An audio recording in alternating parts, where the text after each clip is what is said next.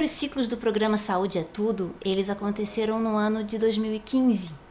O Sindpreves, ele a gente trouxe, era uma ideia que o Sindpreves já alimentava desde o programa Você tem fome de quê? que existe, que a gente realizava na TV Floripa, junto com a Julia Mares, a Monique Latrônico, a Elisa também fazia parte da equipe, já lá, e aí o Sindprev, e a gente levou pro, essa proposta para o Sindpreves ele realizar esse programa em web TV, é, ampliando o aspecto jornalístico, ampliando as possibilidades de produção, o que foi viabilizado através dessa parceria com a cooperativa Desacato, né, que toca o portal desacato.info. Então, os dois primeiros anos foram anos assim. O projeto é um projeto muito novo, né? Essa discussão junto às entidades sindicais ainda é uma discussão difícil, ainda é uma discussão muito nova. Há muita resistência ainda das entidades sindicais de aceitarem a, a, grande importância que tem ampliar as discussões dentro das entidades para além das questões salariais, para além das questões específicas, né? Então, discutir a saúde do trabalhador como uma questão ampla que, que envolve saneamento básico, que envolve mobilidade urbana, que envolve preconceito racial, preconceito de gênero, que dizer que saúde tem a ver com, com tudo, né? com a comunicação que o trabalhador recebe na sua casa. Isso ainda é uma coisa muito nova e muito difícil né? de, de, de convencer mesmo, né?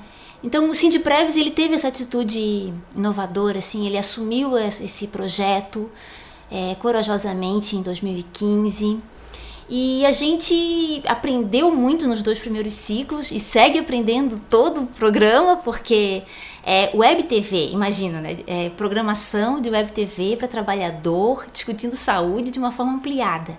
É tudo muito, muito novo, né? Para nós da equipe, para nós da cooperativa, para o sindicato, para a direção sindicato. E agora o nosso grande desafio em 2016 é ampliar isso para outras entidades sindicais. A gente precisa que a proposta do programa seja encampada por outras entidades para que esse projeto continue crescendo e para que a gente possa dar para ele o nível de qualidade que ele precisa. A gente, a gente tem que é, a gente tem que fazer com que a comunicação que chega para o trabalhador tenha a mesma qualidade, o mesmo nível de produção e ainda melhor do que o que é feito hoje pela mídia hegemônica, né? A formação, né, em psicologia, é, ela, ela versa assim por um, por um caminho, né? Por um caminho ético, né?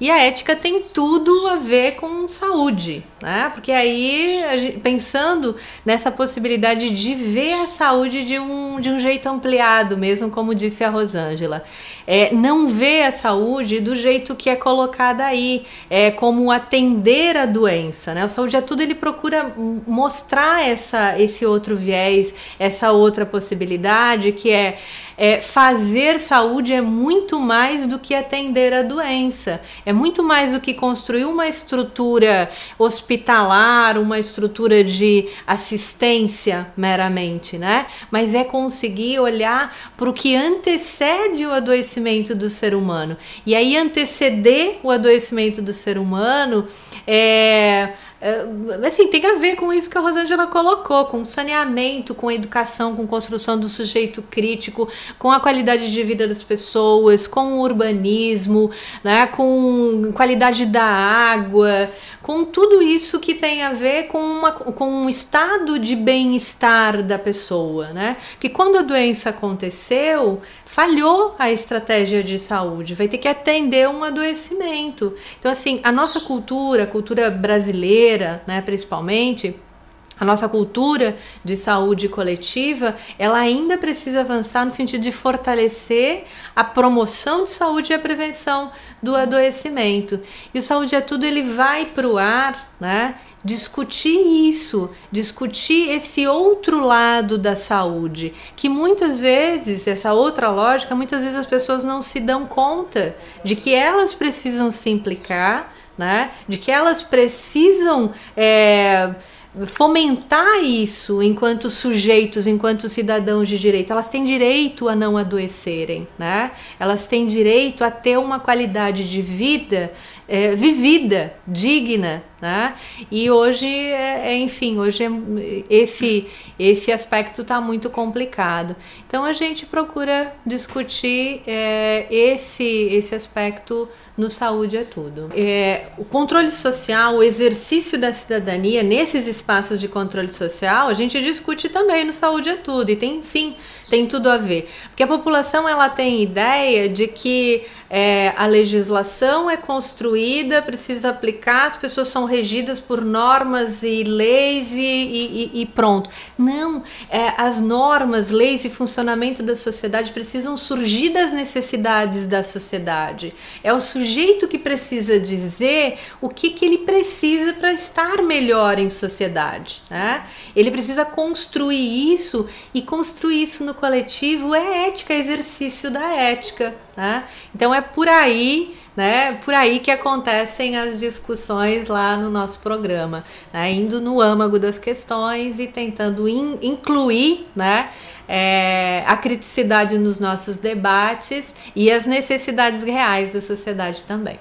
44 programas a gente já, já pensou, estamos aí com as quatro primeiras pautas desenhadas, né? É, as pautas a gente constrói lá no âmbito do Departamento de Comunicação do Sindipres, a Rosângela está muito perto né, nisso, é, o Departamento de Saúde do Trabalhador, né? Tem Silvia Mari Teixeira, né, que está tá envolvida nesse, nessas discussões, a direção, enfim, do, do Sindipres, a nossa equipe de produção, a gente trabalha muito é, conexa com a necessidade da, da realidade. E a gente vai desenvolver aí as, as próximas pautas, gravamos o programa que tem a ver com a saúde do trabalhador do serviço público, né, que vai ao ar agora.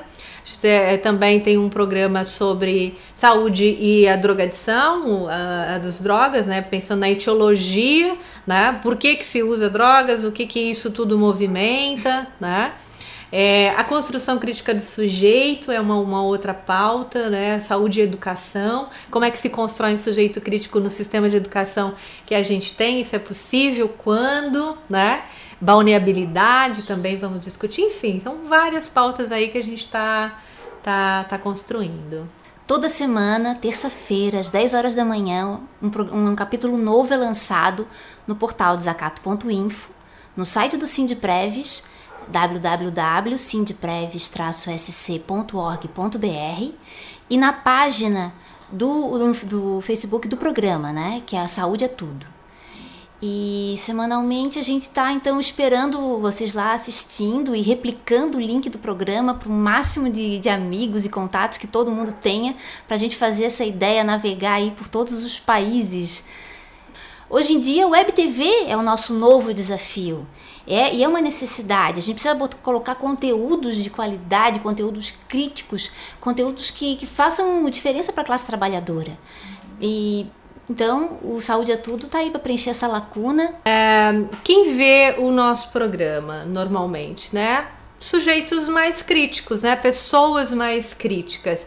E o nosso programa eu, descubro por aí que ele está tomando universidade, ele tem sido ele tem sido utilizado em aulas, né? Muitos professores nos, nos dão essa devolução, né? É uma, uma um, a gente precisa quebrar, né, a ideia de fazer um comparativo entre um programa produzido do jeito que a gente produz, né, com toda, todo o empenho e força de uma equipe, né, e o investimento é, individual, assim, né, de um padrão Globo, né? A gente não pode fazer esse comparativo. É, e, e, eu acho que a gente observa muito isso, né? Que as pessoas conseguem olhar para o Saúde é Tudo e ver que ali tem um coração de verdade e, e tem muito um, um senso ético. A gente está ali discutindo questões que fazem sentido, as pessoas se reconhecem vendo saúde é tudo, né? Porque é, reconhece que tá, ah, tá, eu realmente passo por isso, no meu trabalho é assim mesmo, eu, eu, eu me automedico porque eu não consigo o atendimento que eu, que eu gostaria, eu não tenho grana para pagar, enfim, é, todas as, as, as possibilidades, assim, no sentido de, de se ver né, de se ver, de se reconhecer nesse programa, uh, a, gente, a gente tem observado. Ele, as pessoas precisam uh, realmente desconstruir essa ideia, porque é um hábito, né?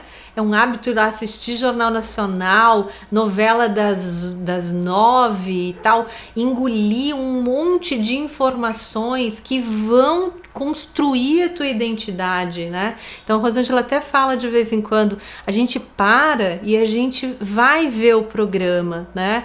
É, é, é, é muito se autorizar ir lá e, e, e absorver outro tipo de informação. Então é um hábito que precisa ser construído, né? Olhar um outro tipo de, de coisa que não isso tudo. E Elaine, se a gente pode ter saúde? Pode, Elaine, pode sim. Eu acho que tem vários contingentes né, sociais que é, nos impedem, né, que dificultam o nosso acesso à saúde. Agora, é muito uma decisão também, e não só uma decisão pessoal, mas é uma decisão política, é uma decisão coletiva. Ter direito à saúde então, assim, isso é uma construção que a gente começa construindo a partir da, de todo uma, um investimento crítico né, na sociedade.